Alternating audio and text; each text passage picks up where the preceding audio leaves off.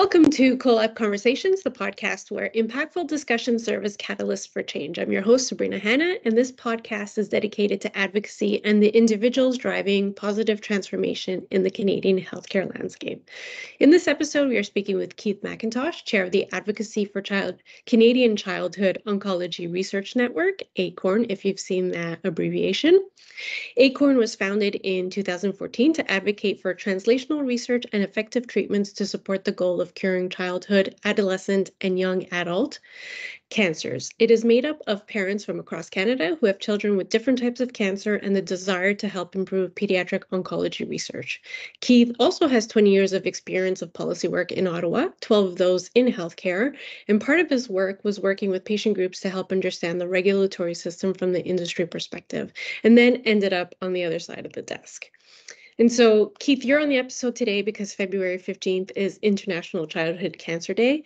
And let's start by you telling us why it's important to raise awareness about pediatric cancer. Well, it's important because it's, despite how much energy and attention it, it sort of has, it's a, it's a, it's a topic and a subject that captures attention. Uh, certainly, it is, um, a, it generates a lot of uh, um, funds uh, collected, you know, smiling smiling bald children to raise funds for uh, cancer research. it it still is sort of a thumb on the on the hand, and and it stands apart. Care for children with can- cancer stands apart from what we think about the cancer cancer care system. It, it isn't really a part of it at all. It's it's and and depending on which province you live in, uh, in Canada, uh, the kind of care and and and and how far you might have to travel to get that care um, isn't the same kind of experience that that adults have or that we we have um, uh, with with the adult space. And so, and the reality is is that that for a lot of uh, children, the the treatment options are uh, either brutal or um, non or and in some cases non-existent. So so we need better treatments. We need um, uh, more treatments, more access to research, and and and and better outcomes for for these kids. Yeah, that's actually a really great point to make. That you know, you we see a lot of you know like the sick kids ads or you know the bald kids that are smiling and thank you for for donating. But actually we, we never really understand the other side of that where you know they're not getting the treatment that they deserve and the treatments that they are getting are really toxic. So like how do we how do we change that conversation? Like how do we bring that to the forefront? It's not just about giving money or i guess i mean it is going to research but how do we say like that's that's just not enough because these kids across canada are not getting access to the drugs that they need. Yeah the, the unfortunately a small portion a very small portion of total uh, cancer research dollars are dedicated to pediatric or or um, adolescent young adult uh, cancer patients. Um, the kinds of cancers that children get and children um, die from are different from uh, and and diff- and the proportions are different from adults. Yes, the research uh, that's conducted in in adult cancers eventually translates uh, to to therapies and care for children, um, but we're talking years and decades uh, for that translation to happen, uh, and it needs to be quicker, and it and we need more more dedicated um, research and, and attention on um, on these cancers, particularly the ones that that don't have good options uh, for for for treatment. Yeah, it's interesting that you say that like translates into the pediatric cancers. So does that mean they're looking at the drugs in the adult population and then like just diminishing the dose or whatever so that it's appropriate in the pediatric population? Like, yeah, what does well, it need so, to translate into the pediatric? Well, well, that's just it. Um, and they're kind of three buckets, three groupings, if you if you want. There are those cancers that occur in children uh, that also occur in adults, and so the the care and the therapies and and um, the research are are highly applicable, uh, right? And so the goal there is to make sure that the um, the research, the clinical trials happen both in the adult and pediatric populations. Um, the outcomes can sometimes be different and, and success rates can sometimes be different. There's an ex- a recent example where where the success uh, in the pediatric case was much better than in the adult population. So there's that that's one case where it's essentially the same disease. There are other cases where where um, molecular uh, genomic, genomic markers or, or molecular pathways are driving different cancers in in adults and in in children. So drugs that are targeted to these genomic differences are being used for different cancers in in children uh, or or other young people, but they're not the same same same tumor location or, or, or disease.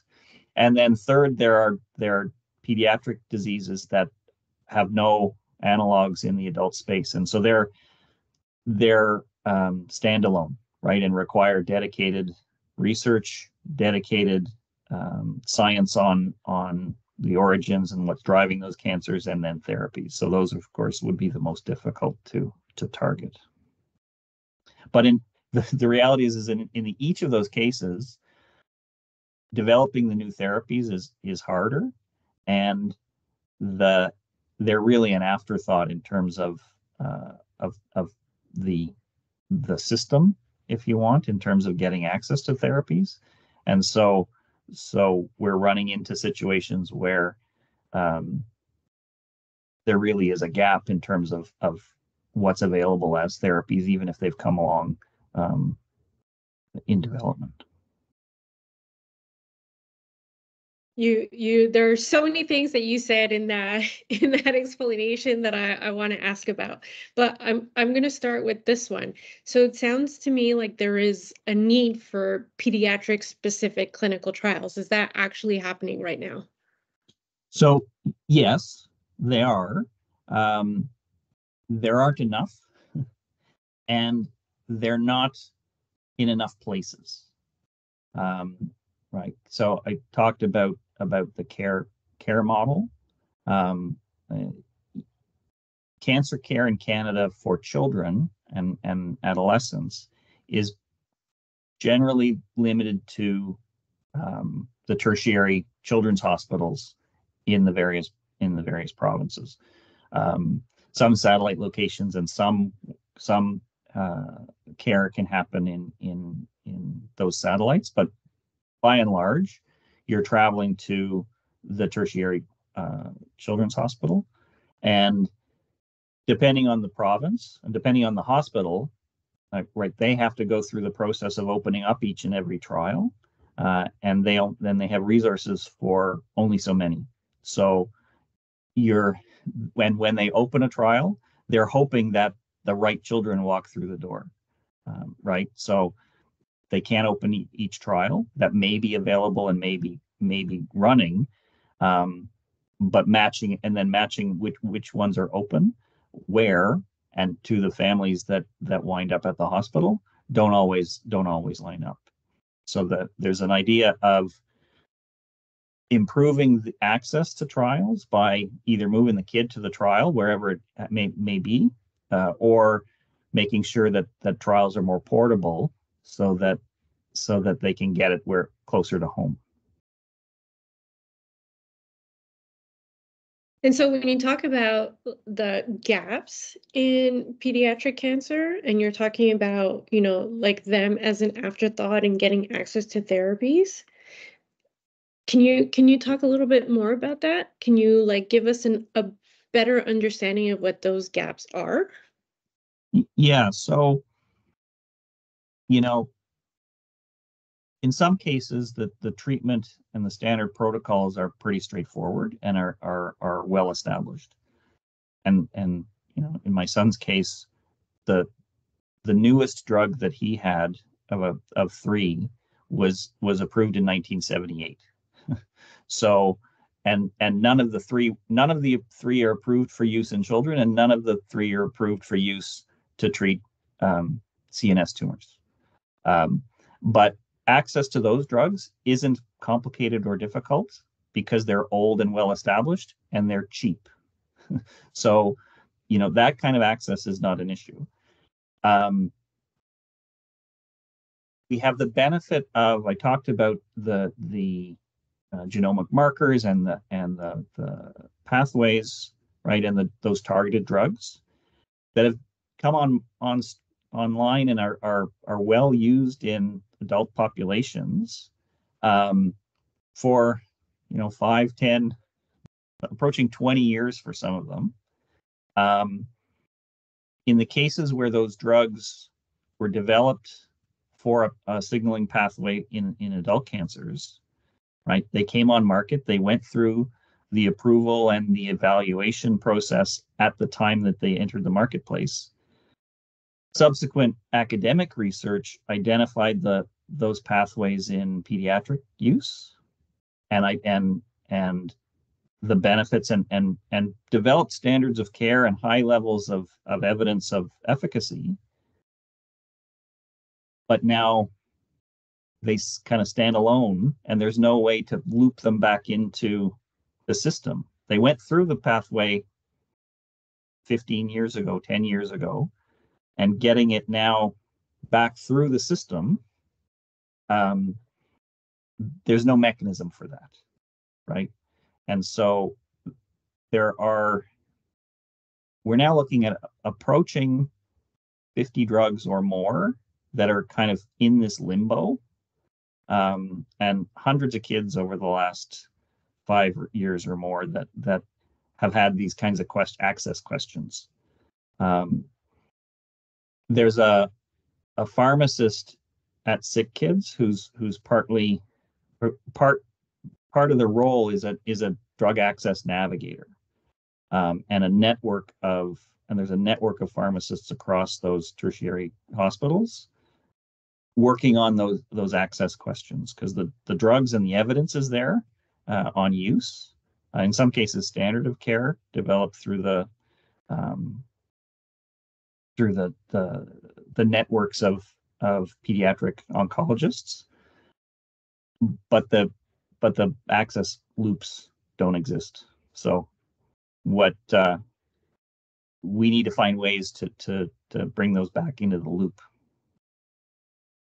yeah when you're prescribing a 50 year old or almost 50 year old medication to a child with cancer today that is like a flagrant afterthought in in in the whole system. I mean i i can't imagine that the medicines that were developed 50 years ago are as i don't want to say as effective but they probably come with a lot more side effects than the treatments that are coming today they're very effective at what they, they do um, but they're they're pretty brutal yeah I, I can't even imagine. And so when you talk about the mechanism, is there like a process within HTA for these pediatric drugs?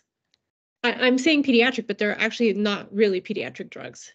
But is there Yeah, a well, mechanism? in there was a case last year where uh, the the POGO, which is a, an organization, uh, the uh, Pediatric Oncology Group of Ontario, um, they they in fact submitted a a non-sponsor uh, submission for a drug that was effect essentially in this in the, this circumstance.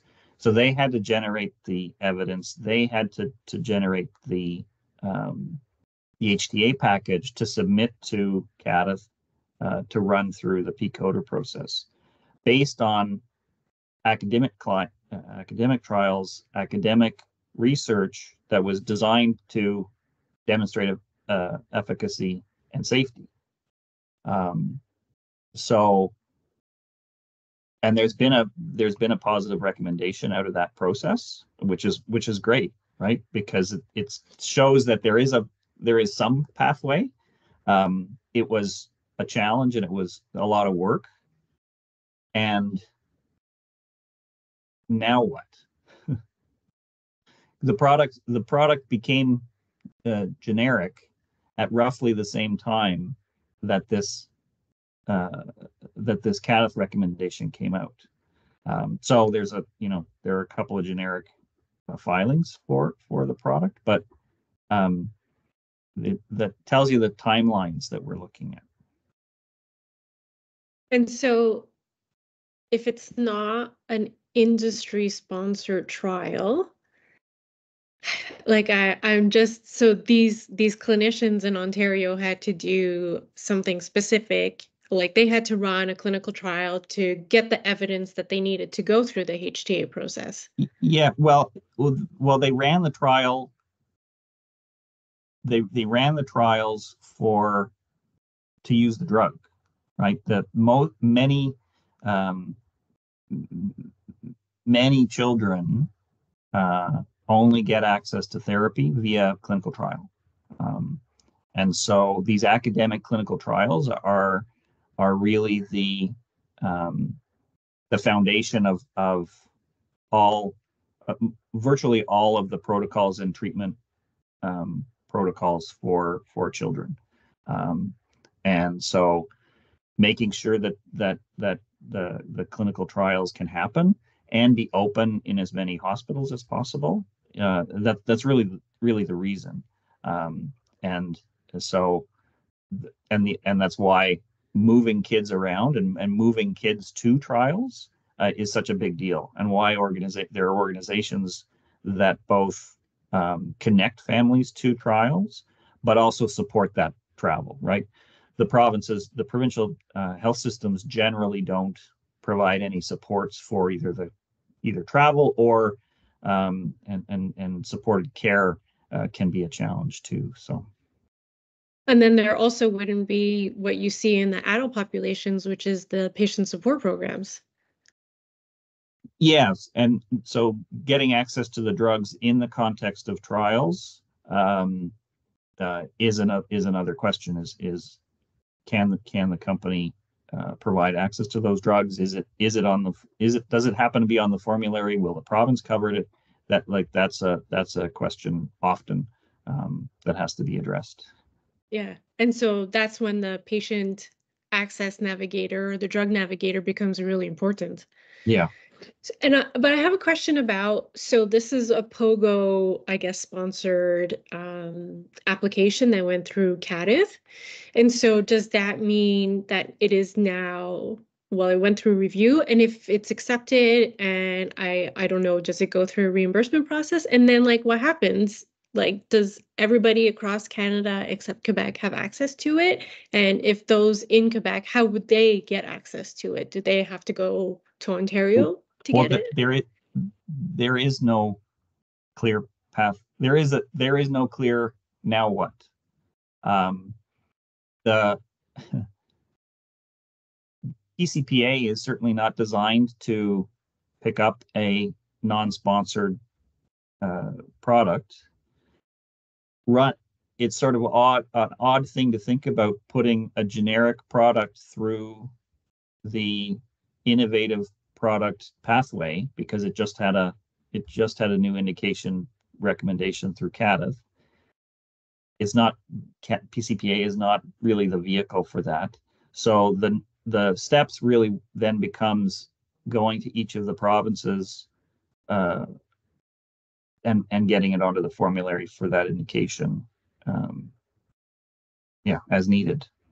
And so who who's responsible for doing that?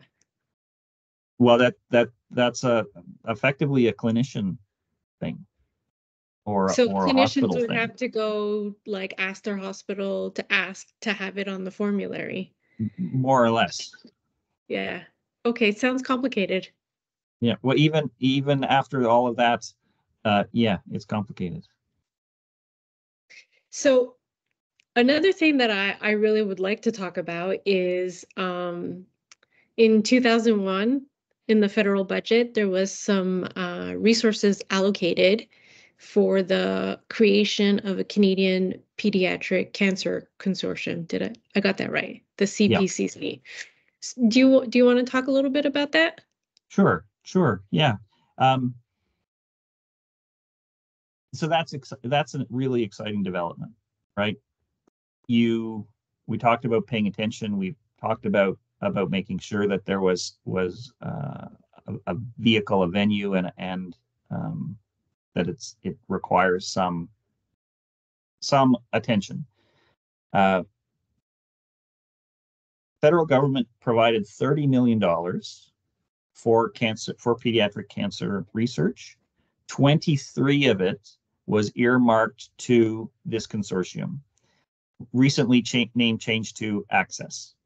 Um, which is an acronym. And I apologize, I don't have it handy.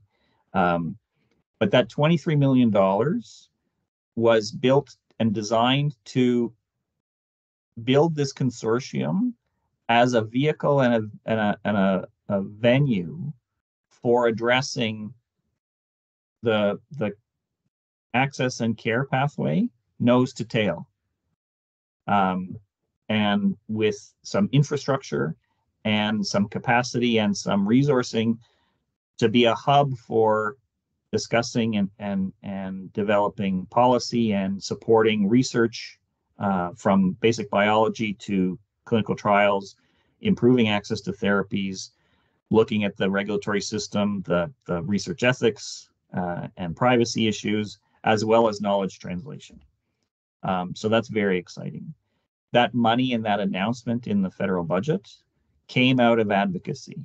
It was it was Acorn was involved. Um, organization called Helena's Hope was was heavily involved and, and active. It included clinicians. It included uh, researchers, uh, but it really was the voice of of families and of um, children with cancer who spoke to um, federal politicians and drove that funding. So it, it was patient advocacy and family advocacy that that that brought that money to reality. Um, and it was it was the advocacy community that brought the clinicians and the researchers together. Um, so and helped define and and set a vision uh, for the org for the organization to say it is possible even if it was only two years and even if it was only $23 million, to identify a vision and to um, to to chart a path and say and say we want to take a bite of, of each of these apples and and try to try to move these things along. Um, and and patients and families have been built into uh, each of the pieces of the matrix and um, it's it's been quite quite um, rewarding to work uh, with the group and and to to have the the patient and the advocate voice um, really embedded in in the system. What, in fact, this was a a, res- a CIHR research grant that had one proposal submitted um, from effectively the entire community of of pediatric clinicians and researchers across the country um, with patient as uh, included as a, as a, a, a P, one of the PIs. Uh, and um, uh, yeah, it was one submission for the proposal, which is, uh, uh, or for the call for, for proposals, which is not common at the very least. Absolutely not common. So, Access is Advancing Childhood Cancer Experience, Science, and Survivorship. And it's also Access in French, which is Agir contre le cancer des enfants avec succès. Like, great that they were able to keep the same acronym in English yes. and in French. And they're so, so they're building their web presence, uh, so so that uh, will be more accessible, um, if you pardon the pun, uh, over the coming weeks. So you there are a couple of things that are really interesting. I think you said 30 million. Yeah, seven seven was dedicated to a couple of other CIHR research grants focused on pediatric um, cancer, but the bulk of that 30 was was dedicated to the to the consortium idea. Yeah, and so it sounds like they're they're using this to uncomplicate the pediatric cancer space. Well, to at least put it all in one place with with resources. I would yeah. It, yeah. uncomplicate is probably uh, Yeah, wishful. too strong. yeah, Yeah. probably wishful. What I find really interesting is the fact that there was just the one application and it was the whole community that came together. Um, it well it's it, it's tied to the size of the community um, that it's it's large enough to you know accomplish to bring together resources to bear to to network and to work together both both within canada but also internationally. Um, but it's small enough that it's possible to know virtually everybody. Um, so the there are absolutely networks of um, clinicians and researchers who who you know are focused on blood cancers or CNS tumors or um, solid tumors, right? Have their special their areas of specialty. Um, but at the same time, in the smaller centers, right, the the the oncologists are the oncologist, um, and so they will will be treating whichever families walk through the door um, and won't have have the, the same degree of specialization.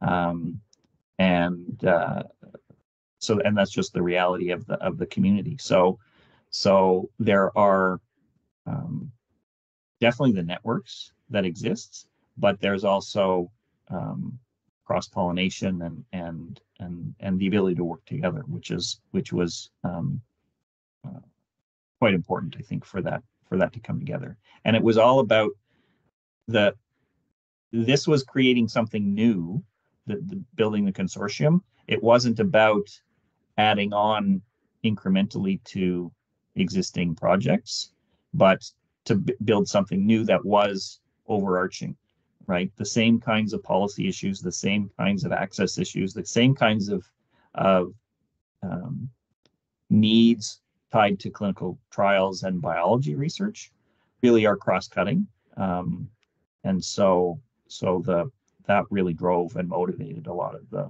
a lot of the work And so within Canada, we do also have a pediatric cancer network. Yep. Um, C17. yeah c17 is an organization of each of the representing each of those the tertiary hospitals Mhm. and um, coordinates provides quite a, quite a bit of, of centralization for um, supporting the opening of clinical trials and supporting clinical research, uh, as a, well as a venue for for um, for discussing th- those issues and, and with with the goal of supporting uh, supporting research and clinical trials. There's this this coming together of the clinicians and the researchers working with the advocates to move things along in pediatrics. Like, tell me a little bit about that. Well, yeah, and and that's another piece that's that's certainly different, I think, from the experience um, working in, in the in the adult world. Um, dealing and working with with children with cancer is is can have a profound impact on you, and the, having that experience, and and the other thing is that there there's a big void and, and big gaps to fill which require a lot of work. And so the clinicians and researchers are answering quest are actively answering questions for how to treat these children constantly. And so and identifying what the research questions are, what the patient needs are, and filling those gaps is very much it involves everybody. And so the the clinicians and the researchers are closer to or seem to be closer to the the those things that are needed to be answered than may otherwise be the case in in other kinds of of um, uh, cancer care. And so it, it's a there's a, a community effort um, whether it's the Children's Oncology Group, the COG, or or SIOP, which is the global uh, organization or C17, um, then that's sort of everybody's rolling up their sleeves and trying to get trying to get um, to find answers.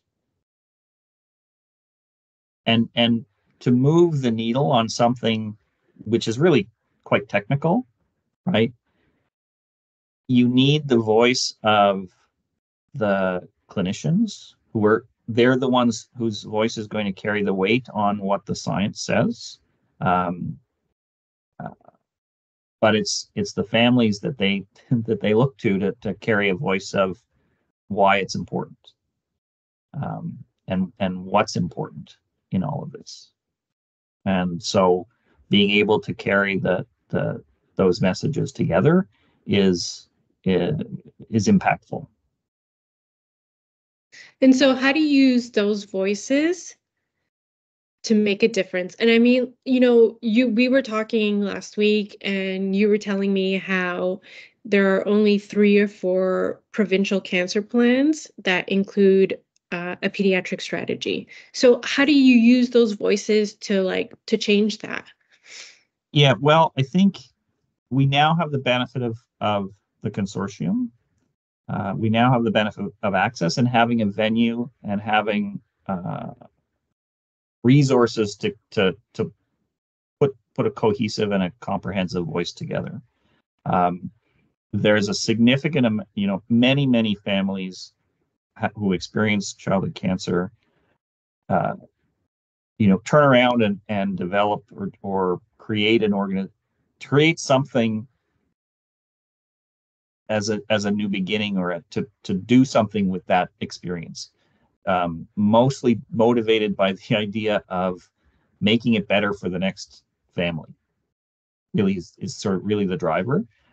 Most of that work, um, most of the organizations founded um, to support and to work in in supporting families with with children with cancer are focused on research, focused on um, services for families undergoing active treatment, supports for clinical trials, you, you know, that, that, we talked about getting to trials or, or all of those, those things in terms of services, um, or psychosocial supports for, for the kids or the, or the families. Most of, very few um, focus on policy issues or access issues.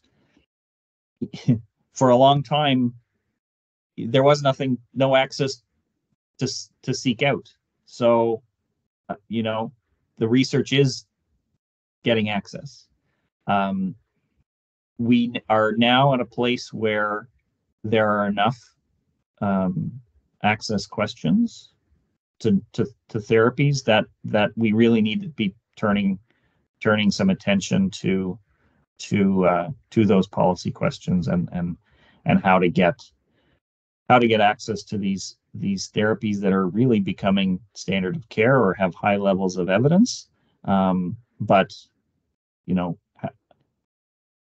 haven't fit through the right uh, uh, the right pathway. Standard of care in other jurisdictions, not in Canada.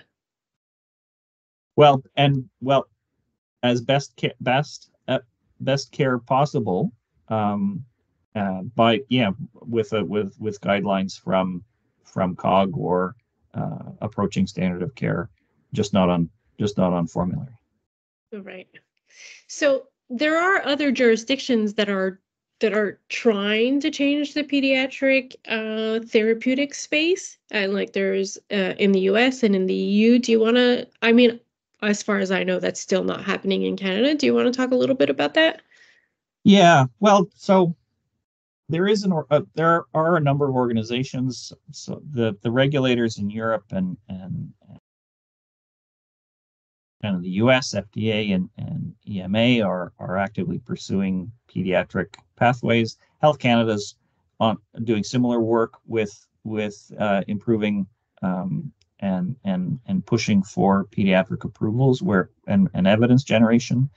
Um, the there is an organization uh, called Accelerate that's that brings together industry and clinicians and researchers and the uh, regulatory regulator community to discuss exactly those questions on uh, on designing the science, designing trials for approval, and and to get to get the evidence needed um, specifically to support uh, to support those um, those products and, and and to bring products to to market for for pediatric uh, cancers specifically. Um, there, what I think is nobody's doing it right yet. um, I think there's a there's a growing amount of attention to the to the questions, and there are you know there are companies who are are including pediatric uh, trials and pediatric components to their trials at as early as as uh, the adult indications. That is occurring. Um, I'm not sure that those products get wind up with access any better um, than than products that haven't been been included at the uh, at, at early stages. Um, but I think there, I think things are, you know, it's encouraging. There's, I think now we have enough tangible products and enough enough tangible examples to identify where where the current system falls down or doesn't doesn't um, really doesn't allow these products to come through um, and and there's enough interest or at least growing interest in having conversations about creative ways of of making sure that these these don't stay um, stay stay the way they are. Conversations with who? Well, you know, following the the the um, the at the CADTH symposium a year ago, there was a there was a session um, that discussed access to these these specific access issues in terms of of the kinds of things that are that are going on in in um, with with newer therapies and trying to get them um, onto formulary for for access. And so those conversations are, are happening. I think there is a yeah, Health Canada has the pediatric drug uh, drug um, strategy and and is and is working actively on a number of of um, files to improve access to pediatric indications. Um, and I think CADTH is has has uh, is the door is open there. I think to to discuss uh, these issues and to find creative ways. I think that I think there's there's room there. Um, what about from the industry perspective? I think that's a key that's a key conversation that we need to be having more. Um, like I said, there's some of the companies are including the pediatric studies uh, kind of as normal course. Others um, less so, um, but I don't know that it's it's. Uh, uh, I don't know that it's a decision that they simply don't want to. It's just not the immediate pathway. Um, so what what at, from an access point of view, the the from the consortium, involving industry and including industry in these conversations is is crucial getting the drugs drugs available uh, uh, and accessible for the trials, getting drugs um, accessible when there is no trial, um, and getting access once uh, once the trials are more or less done uh, and the evidence base is there, how to get them onto onto label and then onto formularies is the question.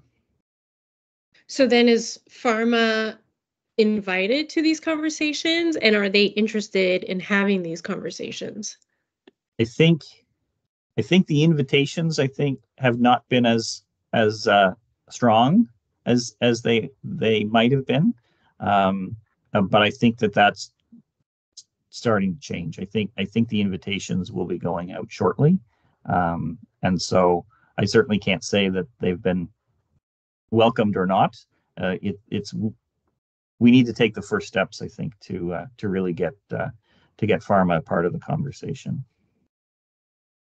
Well, what do you think their willingness to come to the table will be? I think there I think there is an interest.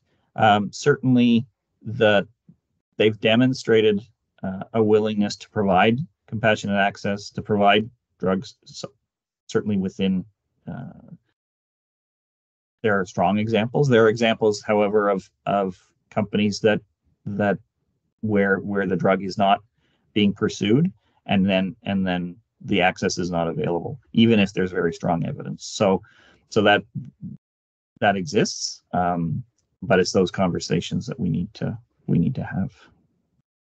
I wasn't suggesting that you know pharma industry is not interested in bringing the pediatric cancer drugs to Canada. Just not entirely sure that they they know how to do that or they're aware of and, the and, and i'm not sure there's any benefit i you know there if you if you look at at the the fight and the struggle that that they have for some products right for for adult indications adding going through the the effort for um for a, a dozen or a couple of dozen children um I don't know that there's any any any win for them uh, for any of this in a pathway that if the pathway isn't clear, if the pathway for adoption uh, and uptake is not not clear, I, you know, I'm not sure there's there's much win.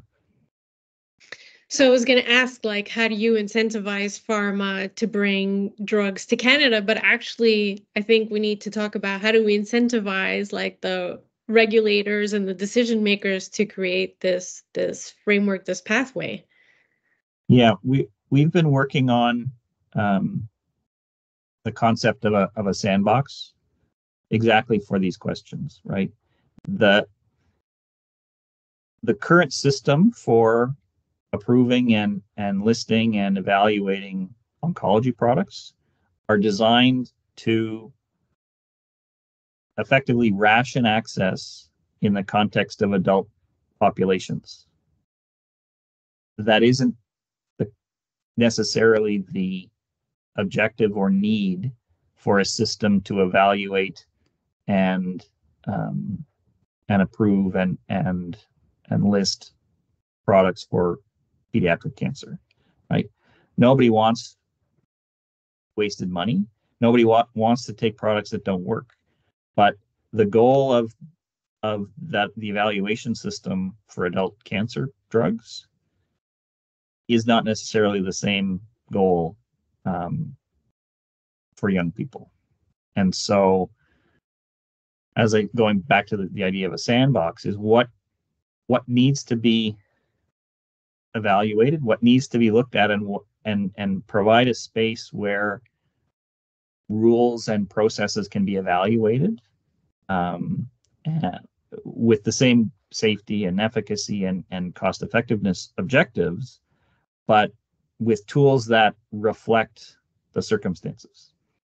Um, and so that would be regular like regulatory and rules and processes either at the either at the um, for supporting clinical trials, supporting uh, regulatory approval, or or um, cost effectiveness evaluation. So, with the idea that you know using tools that are appropriate and and and and suited for the evaluation and the circumstances of these these drugs.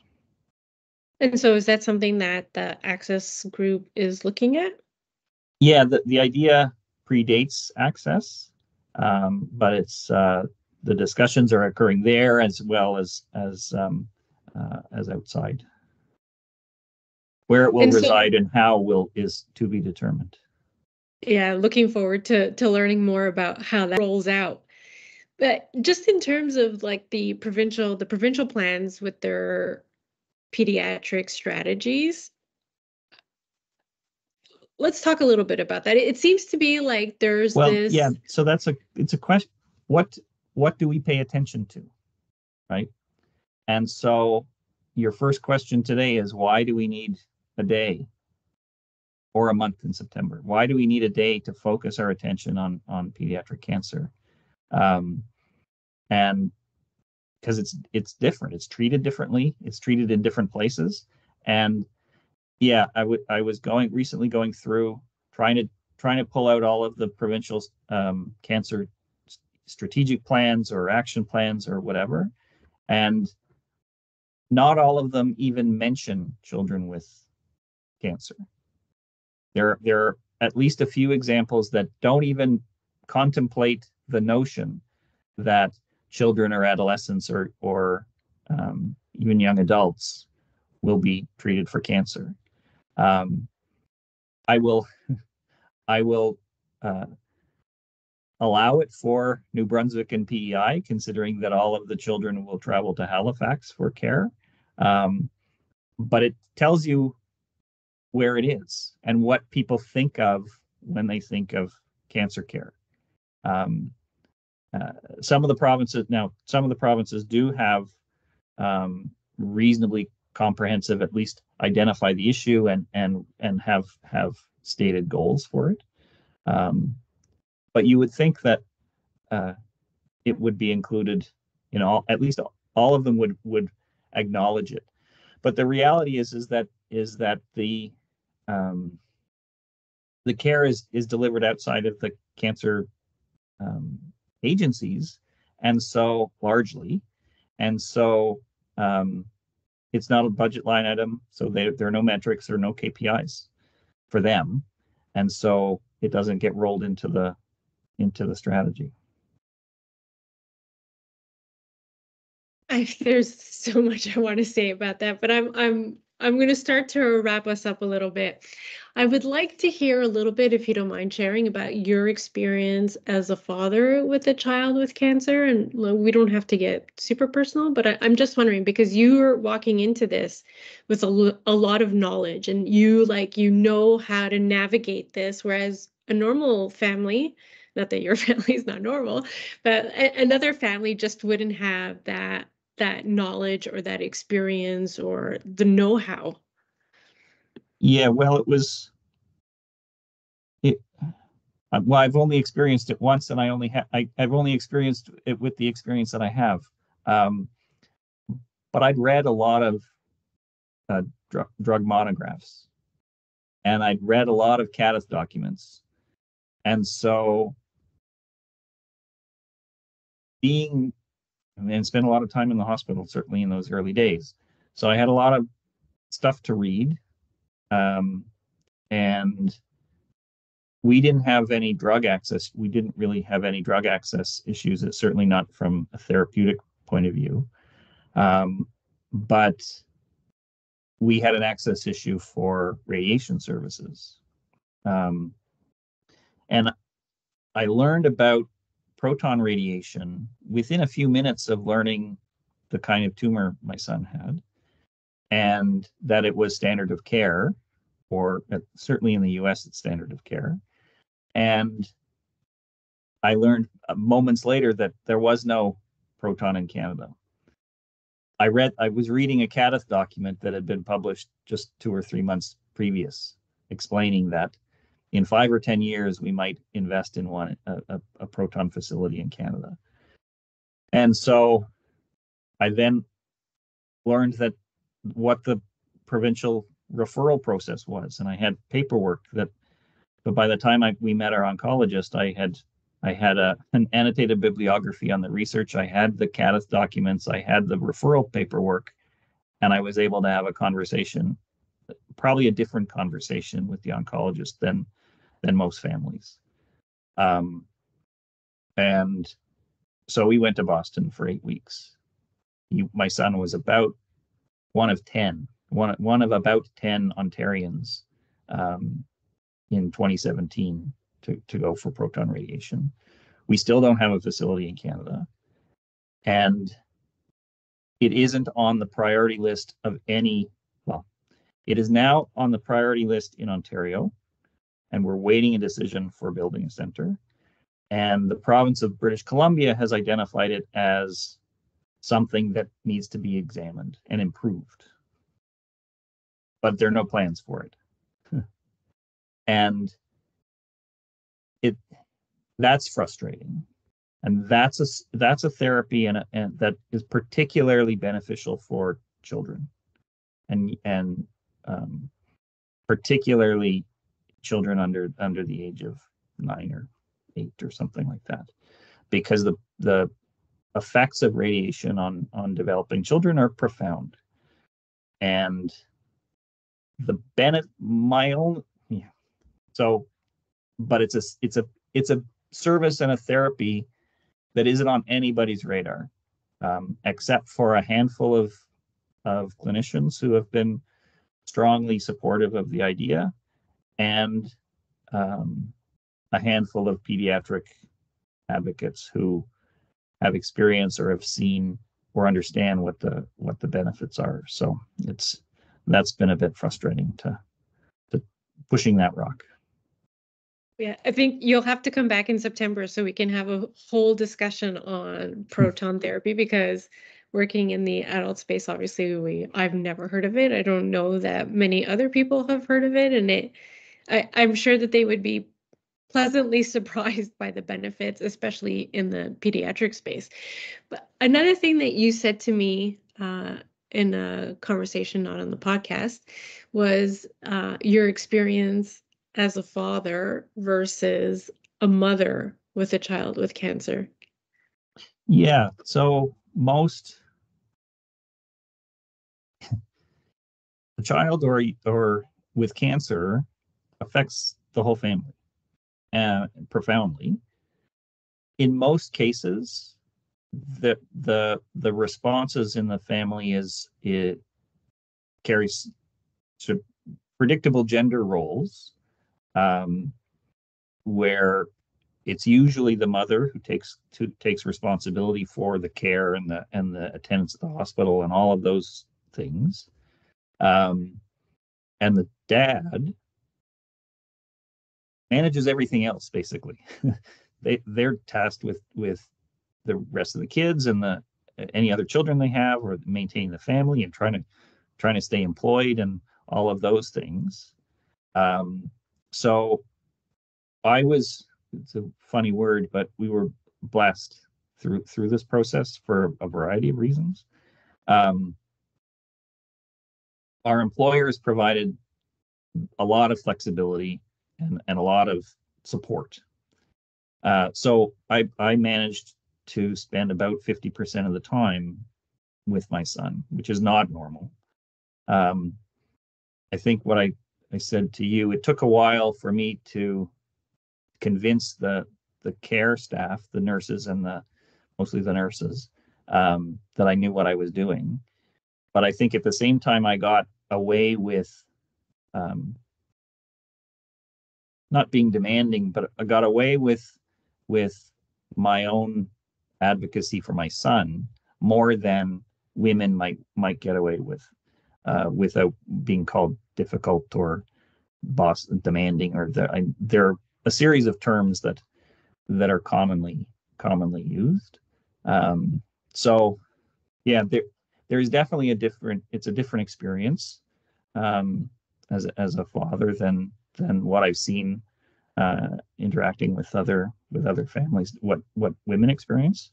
Um, but it's uh, yeah, I didn't I didn't know any other way. Anybody is listening to this podcast, what is your call to action to them?